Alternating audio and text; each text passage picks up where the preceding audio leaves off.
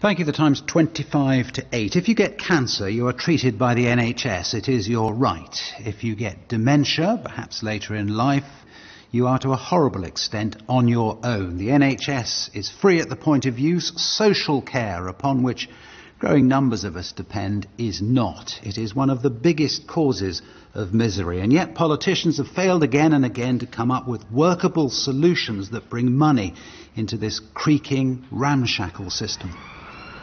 It's nearly three years since I came here to Bristol to a hospital right here in the centre of the city to meet John Sibley and his mother Iris. She'd been stuck in hospital, nowhere to look after her outside. She was a victim of a broken system and yet, like so many of her generation, never defeated, never down. We sang carols last night, didn't we, Mum? Yeah, go on then, give us a tune. Away in a manger. No uh, Eventually, after seven months, they did finally manage to find Mum a home. And she had a, a really nice end to her life. She was well looked after. Do you think anything has changed in the wider picture for the better since we talked then in that hospital room? No, it's got worse. She'd still be in there for months and months now. Councils haven't increased the amount of money that they pay. So it makes finding homes for people who are dependent on the council to pay more and more mm. difficult. If you were to go and check with any hospital in the land, you would find that they all have old, old people mm. stuck in hospital waiting for placements. How do we make social care work? That question hangs over this election, but it's wider than party politics. It's an issue that requires a national debate and a national consensus. Sally Warren is a former Director of Social Care Policy at the Department of Health what drives the problem is at the moment we have a social care system that the public really don't understand very well. They think it's part of the NHS, so they expect it to be free at the point of use.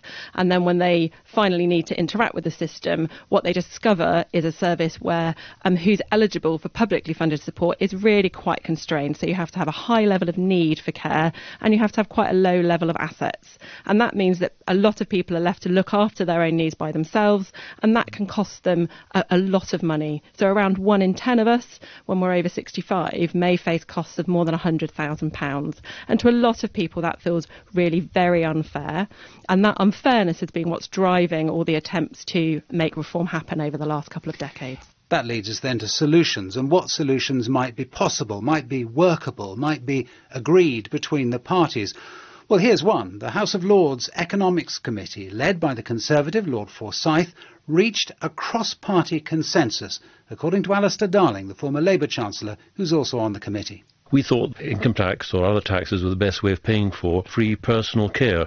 So if you need care when you're older, personal care is covered. You still have to pay for your accommodation and uh, living costs. It's exactly the same system that's been in Scotland for almost 20 years now, and it's readily understood. And we thought that was the best way of doing it. Mike Forsyth and I used to joke it wasn't clear whether he was moving to the left or I'm moving to the right.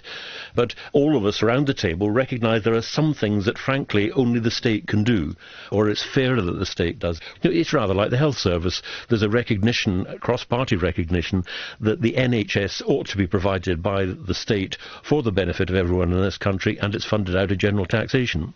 One of the odd facts about social care is that clever, non-partisan people have come up with solutions or partial solutions. Here's Camilla Cavendish, who was Director of Policy for David Cameron, who's worried about the taxpayer model for funding, but very keen on other potential solutions. We now have older households have a higher income than younger working households. So if you just charge everybody, it's not necessarily fair, and you might want to charge older people a bit more. In Japan, they have co-payments built in, so the richer people actually do pay a bit more when they take out the services. And Japan is finding that as the population ages, the costs of these schemes are going up, and in fact, they're having to hit the rich progressively harder. But it does enable you again to make it much, much more progressive than our income tax system would allow. There you are. That was a nice cup of tea. Thank you. You're all okay? Yes, I'm fine. yes? Don't need a hand? No, no, I'm fine. Oh. The stress of that going on and not being able to do any more without John going up to see him um, he w- he, would, would have have been dead. died. He would He have would have dead. died. Dorothy Greenhill is remembering her father Alfred, another person utterly failed by the system, this time in a London borough.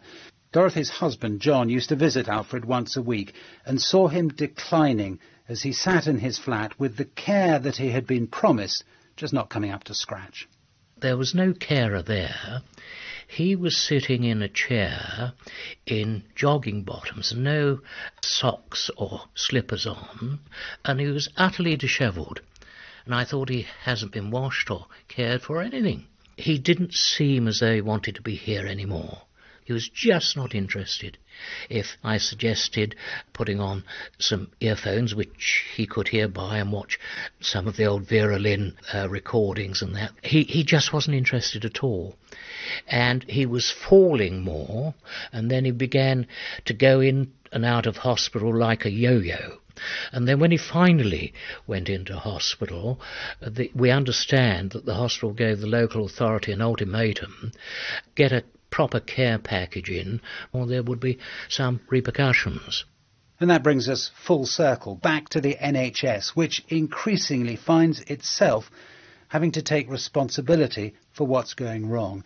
Niall Dickson is from the representative body, the NHS Confederation. This is not just a question of discharging patients. It's about the whole demand that's made on the system and the fact that social care has now reached such a depth, as it were, of not meeting need that this is flowing into the National Health Service in a way that people had not seen before. Going ahead, the NHS will not be able to deliver what's expected from it unless we fix social care.